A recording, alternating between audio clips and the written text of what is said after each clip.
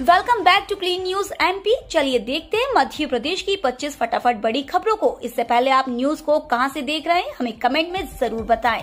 साथ ही वीडियो को लाइक करना बिल्कुल ना भूलें। खाद्य सुरक्षा योजना में जोड़े जाएँगे 38 लाख हितग्राहियों के नाम।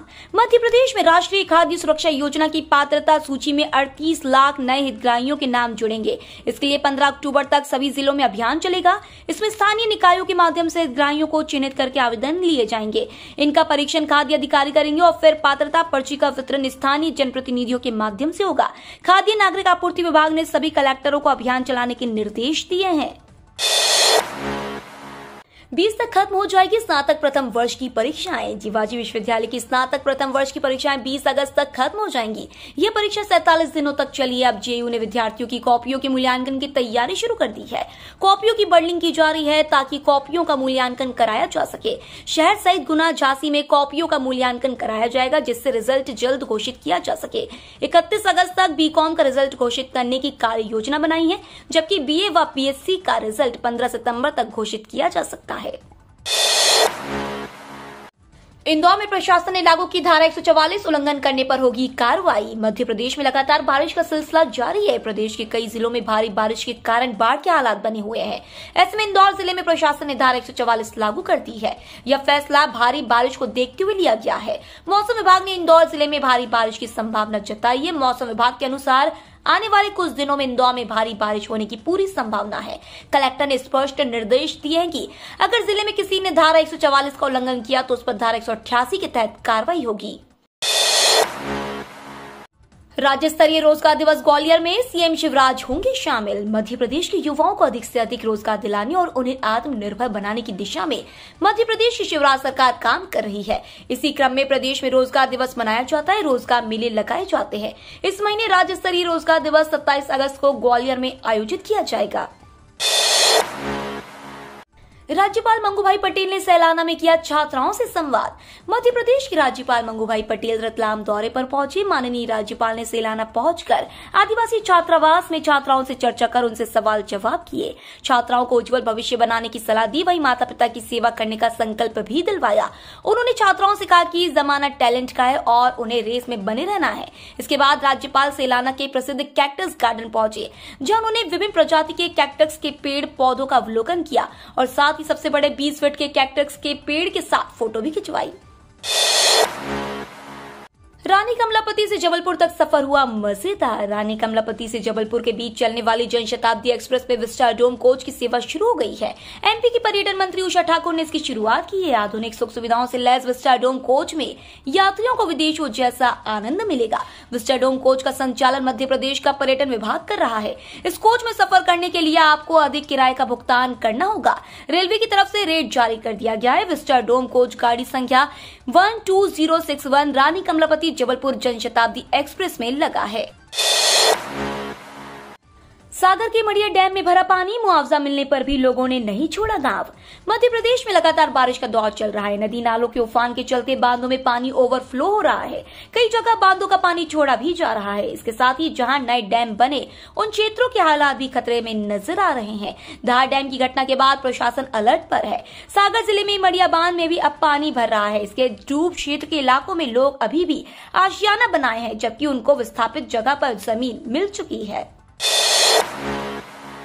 पहचान पत्र से आधार को लिंक करने से डुप्लीकेट मतदाताओं की पहचान आसानी से होगी। शहर के मतदाता अपने पहचान पत्र को आधार नंबर से लिंक करवा ले। इसके लिए वोटर हेल्पलाइन ऐप डाउनलोड कर स्वयं को उसमें पंजीकृत करें।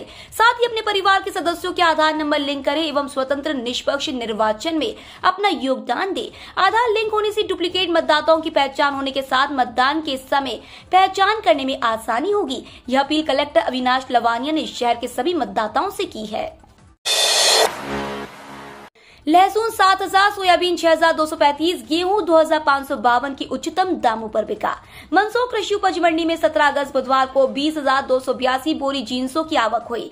सबसे ज़्यादा तेरह हज़ार बोरी लहसुन, तीन हज़ार आठ सौ बोरी सोयाबीन और एक हज़ार नौ सौ पचास बोरी गेहूँ की आवक रही। कांग्रेस विधायक ने इस्तीफे की दी चेतावनी, कमलनाथ से नाराज़। कांग्रेस पार्टी के विधायक संजय यादव अपने नेता कमलनाथ से नाराज़ हो गए हैं। उन्होंने इस्तीफे की चेतावनी दी है। मामला जबलपुर नगर में एमआईसी के गठन का है। संजय यादव इसलिए नाराज़ है क्योंकि कमलनाथ ने इस विषय में उनसे बात तक नहीं की। उनका फ़ोन रिसीव नहीं किया। उल्लेखनीय की दो हज़ार अठारह से लेकर अब तक कमलनाथ से नाराज़ होकर बीस से ज़्यादा विधायक उनका साथ छोड़कर जा चुके हैं। जनहित को नुकसान पहुँचाने वाले आरोपितों की जमानत अर्जियों का विरोध करेंगे वकील। मध्य प्रदेश हाईकोर्ट और जिला बार एसोसिएशन जबलपुर ने तय किया कि शीघ्र ही संयुक्त सामान्य सभा के ज़रिए प्रस्ताव पारित किया जाएगा। इसके ज़रिए उन आरोपितों की जमानत अर्जियों का विरोध करने पर ज़ोर दिया जाएगा, जिनका संबंध व्यापक जनहित को नुकसान पहुँचाने से है। इसके अलावा वकीलों की हमलावरों के साथ भी ऐसा ही व्यवहार किया जाएगा। सीयूईटी से बाहर निकल प्रवेश देने की मांग। अनियमितता और विवादों में घिरी संयुक्त विश्वविद्यालय प्रवेश परीक्षा देवी अहिल्या विश्वविद्यालय के लिए जी का जंजाल बन चुकी है।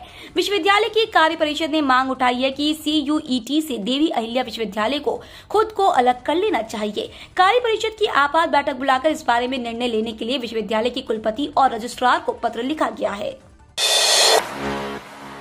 भाजपा संसदीय बोर्ड से हटाए गए नितिन गडकरी और शिवराज सिंह चौहान।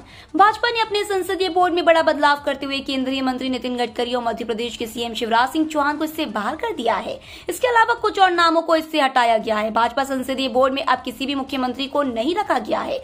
संसदीय बोर्ड में कुल ग्यारह सदस्यों को रखा गया है। इनमें पार्टी अध्यक्ष के नाते जेपी नड्डा शामिल है और वह इसके अध्यक्ष भी हैं। यूआईडीएआई ने आधार को लेकर जारी किया सर्कुलर। देश की करोड़ों जनता के लिए महत्वपूर्ण सूचना है। दरअसल, यूआईडीएआई के अनुसार, यदि आपके पास सरकार द्वारा जारी आधार कार्ड नहीं है तो आपको सरकारी लाभ और सब्सिडी से वंचित होना पड़ेगा। सरकार ने इसको लेकर नियम सख्त कर दिए हैं।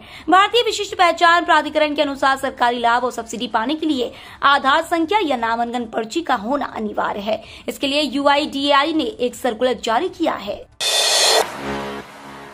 बैंक ऑफ़ बड़ौदा ने शुरू की नई योजना। ग्राहकों को अब जमा पर मिलेगा तगड़ा रिटर्न।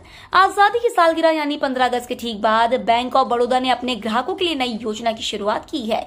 इस योजना का नाम है बड़ौदा तिरंगा डिपॉजिट। इस special domestic retail term deposit scheme के तहत ग्राहकों को अपने जमा पैसे पर छह प्रतिशत तक का ब्याज मिलेगा। वही सीनियर सिटीजन को अतिरिक्त शून्य दशमलव पाँच शून्य प्रतिशत का ब्याज दिया जाएगा। इसके अलावा शून्य दशमलव एक पाँच प्रतिशत ब्याज नॉन केपेबल डिपॉजिटर्स के लिए दिए जाएँगे। बोले गृह मंत्री नरोत्तम मिश्रा, अर्जुन कपूर जनता को धमकाने की बजाय अभिनय पर ध्यान दे। मध्य प्रदेश के गृह मंत्री नरोत्तम मिश्रा ने फ़िल्म अभिनेता अर्जुन कपूर को लेकर कहा कि जनता को धमकाना ठीक बात नहीं है। जनता को धमकाने की बजाय अपने अभिनय पर ध्यान देना चाहिए। अपनी फ़िल्मों में हिंदू धर्म को टारगेट करने वाले टुकड़े टुकड़े गैंग के हिमायती कलाकार बॉयकॉट पर क्यों जनता को धमकाते हैं?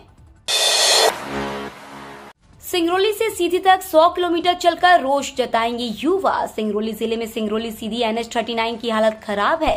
पूरी सड़क गड्ढे में तब्दील हो गई है। सड़क पर चलना मुश्किल है। लोग वर्षों से सड़क बनाने की मांग कर रहे हैं। इसके लिए ज़िले के युवाओं ने मोर्चा खोल दिया है। सड़क की मांग को लेकर युवाओं व समाज सेवियों ने पैदल यात्रा शुरू की है। बीस अगस्त तक सौ किलोमीटर पैदल चलेंगे। फेसबुक पर देवी देवताओं पर आपत्तिजनक टिप्पणी हिंदू संगठनों ने किया प्रदर्शन। शहडोल में देवी देवताओं के खिलाफ फेसबुक पर आपत्तिजनक पोस्ट करने पर हिंदू संगठन ने नाराज़गी जताई है। यहाँ पोस्ट करने वाले व्यक्ति का कुछ उपद्रवियों ने घर तोड़कर गृहस्थी का सामान क्षतिग्रस्त कर दिया। आपत्तिजनक पोस्ट करने व्यक्ति सहित तोड़फोड़ करने वाले बारह नामजद लोगों सहित साठ ऐसी अधिक अज्ञात लोगों के खिलाफ पुलिस ने मामला दर्ज किया है। सरकारी व्यवस्था के खिलाफ छात्राओं का हल्ला बोल, स्कूल में जड़ा ताला। सतना के शासकीय स्कूल की जर्जर इमारत, जिसके कभी भी नीचे आने का डर है, लेकिन शिक्षा विभाग 1300 छात्राओं की जान की परवाह किए बगैर इस जर्जर इमारत में कक्षाएँ चला रहा है। हर रोज की परेशानी से तंग आकर स्कूल की छात्राओं ने स्कूल में ताला डाल दिया और नए स्कूल का निर्माण होने तक पुराने स्कूल में पढ़ने से मना कर दिया। छात्राओं ने स्कूल के टीचरों पर लापरवाही बरतने और अभद्रता करने की बात भी कही है। रीवा में जनपद सीईओ से मारपीट मामले में भाजपा विधायक केपी त्रिपाठी से संगठन नाराज़। रीवा के सिरमौर जनपद के सीईओ सुरेश मिश्रा पर जानलेवा हमले में भाजपा विधायक केपी त्रिपाठी की मुश्किलें बढ़ गई हैं। पूरे मामले में भाजपा संगठन ने भाजपा विधायक केपी त्रिपाठी को भोपाल तलब किया है। इसके साथ भाजपा अध्यक्ष वी शर्मा ने कहा की ऐसी घटनाओं को बर्दाश्त नहीं किया जाएगा। उन्होंने उज्जैन महाकाल मंदिर में हंगामे के मामले में भाजपा युवा मोर्चा के पदाधिकारियों पर हुई कार्रवाई का हवाला दिया। शाकाहारी यात्रियों को रेलवे ने दी बड़ी खुशखबरी। अगर आप शाकाहारी भोजन करते हैं तो अब आपका ट्रेन का सफ़र पहले से ज़्यादा सुहाना हो जाएगा। रेल से सफ़र करने के दौरान अब यात्रियों को पूरी तरह सात्विक भोजन मिल सकेगा। आपको बता दें कि इंडियन रेलवे की सब्सिडियरी आईआरसीटीसी ने इस्कॉन के साथ करार किया है। इस करार के बाद सात्विक खाना खाने के इच्छुक यात्री इस्कॉन मंदिर के रेस्टोरेंट गोविंदा से खाना मंगाकर ट्रेन में खा सकेंगे। आईबीपीएस क्लर्क 2022 प्रीलियंस परीक्षा के एडमिट कार्ड जारी। बैंकिंग कार्मिक, चयन संस्थान ने आईबीपीएस क्लर्क परीक्षा 2022 के लिए एडमिट कार्ड जारी कर दिया। यह परीक्षा 28 अगस्त और 3 सितंबर को आयोजित की जाएगी। जिन उम्मीदवारों ने परीक्षा के लिए आवेदन किया है, वे आधिकारिक वेबसाइट आई से अपना एडमिट कार्ड डाउनलोड कर सकते हैं। इस भर्ती के तहत छह से अधिक क्लर्क पदों को भरा जाएगा। आईबीपीएस क्लर्क भर्ती के लिए तीन चरणों के बाद चयन करता है। बिना अनुमति प्रदर्शन कर रहे आप कार्यकर्ताओं को किया गिरफ़्तार। इंदौर में बिना अनुमति रीगल तिराहे पर प्रदर्शन कर रहे आप कार्यकर्ताओं को गिरफ़्तार कर लिया। तुकुगंज पुलिस ने इनके खिलाफ केस दर्ज किया है। सभी को धारा एक सौ अठासी के तहत गिरफ़्तार किया गया है। पुलिस ने हेमंत जोशी, मनोज यादव, संजीव वैद राजू खान और संजय शुक्ला को गिरफ़्तार किया है। अन्य लोगों की तलाश की जा रही है।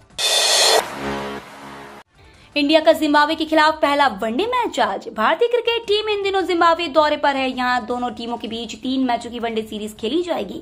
सीरीज़ का पहला मुकाबला आज खेला जाएगा। बाकी दोनों मैच 20 और 22 अगस्त को होंगे। सभी मैच राजधानी हरारे में खेले जाएँगे। बता दें कि दोनों टीमें छह साल बाद एक दूसरे के आमने सामने हैं। आखिरी बार भारत और जिम्बाब्वे के बीच कोई इंटरनेशनल मैच बाईस जून दो हज़ार सोलह को खेला गया था। तब हरारे टी मैच में भारत ने तीन रनों से जीत दर्ज की थी। 19 अगस्त को एक्टिव होगा नया सिस्टम। मध्य प्रदेश का एक बार फिर मौसम बदलने वाला है। 19 अगस्त को मानसून के साथ नया सिस्टम एक्टिव होगा, जो प्रदेश भर में बारिश करवाएगा। एमपी मौसम विभाग ने आठ संभागों में गरज चमक के साथ बारिश और छह जिलों में बिजली गिरने, चमकने की चेतावनी जारी की है। इधर सीएम शिवराज सिंह चौहान ने कलेक्टरों, कमिश्नरों को अलर्ट रहने के निर्देश दिए हैं। ये तो थी आज की 25 फटाफट बड़ी खबरें। अगर आपको न्यूज़ पसंद आई हो तो चैनल को सब्सक्राइब करना ना भूले। धन्यवाद।